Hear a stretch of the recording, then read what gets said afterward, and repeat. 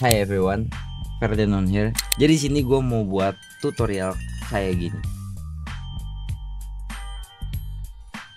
Oke, okay, come, let me show you.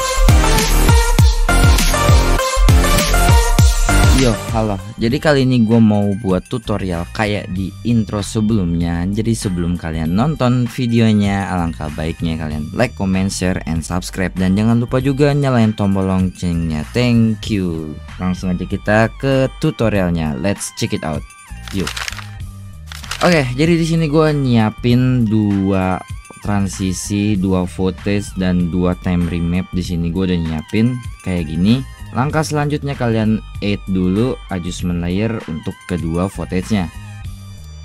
Kayak gini misalkan. Next, pergi ke adjustment yang pertama tambahin shake untuk efek pertamanya. Ini untuk bagian shake-nya. Langsung aja kalian buka ke bagian S X shake-nya dan di bagian extra AMP-nya kalian nolin aja.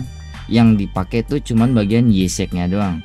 Nah, next kalian ke bagian frekuensi kalian ubah jadi 4 dan amplitude-nya kalian ubah jadi 2000 kayak gini.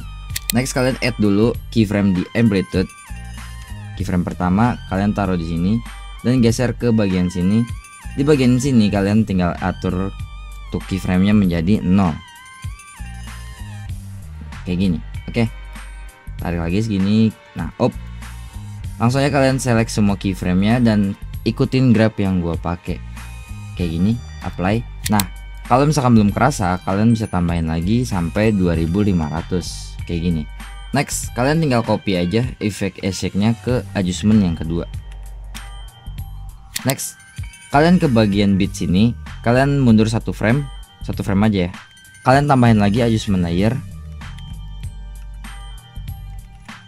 Di bagian adjustment yang ini kalian tambahin efek offset.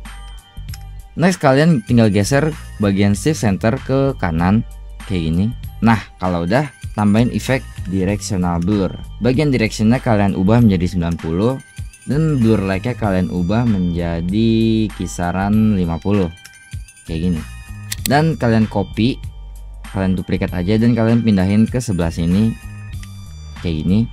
Dan hasilnya akan seperti ini. Gimana? Simple bukan kalau kalian suka sama konten gue jangan lupa like, comment, share, and subscribe. Dan jangan lupa juga nyalain tombol loncengnya. Gue Fiti GRDN Let's make it simple. Bye bye